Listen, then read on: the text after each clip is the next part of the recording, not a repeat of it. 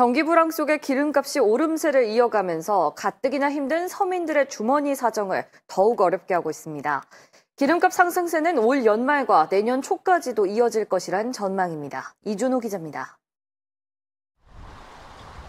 매일 왕복 15km의 거리를 자동차로 출퇴근하고 있는 직장인 박준영 씨. 한 달에 9만 원이면 충분했던 기름값이 최근 들어 12만 원어치를 넣고도 빠듯해지자 통근버스 이용을 고민하고 있습니다. 한 5년 전인가 기름값이 엄청 비쌀 때 좀 불편해도 통근버스를 한동안 이용한 적이 있는데 앞으로도 좀 그래볼까 좀 고민 중에 있습니다. 광주 지역 평균 휘발유 가격이 20주 연속 오르면서 이번 주 리터당 1,528원을 기록했습니다. 지난 2015년 8월 이후 최고입니다. 기름 보일러에 사용되는 실내 등유값도 지난해보다 리터당 100원 가까이 오르면서 서민들의 난방비 부담이 되고 있습니다.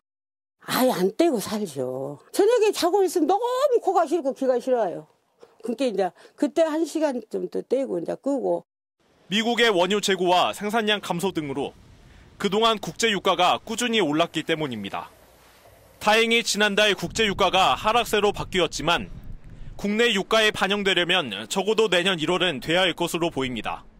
3분기까지만 해도 두바이유 기준으로 배럴당 50달러였었는데 11월 이후에는 60달러를 넘어섰어요. 이것이 국내 시차를 두고 최종 소비자 가격으로 반영됩니다. 아, 그래서 몇 주 더 상승세를 보일 것 같아요.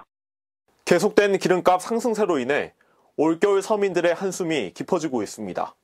KBC 이준호입니다.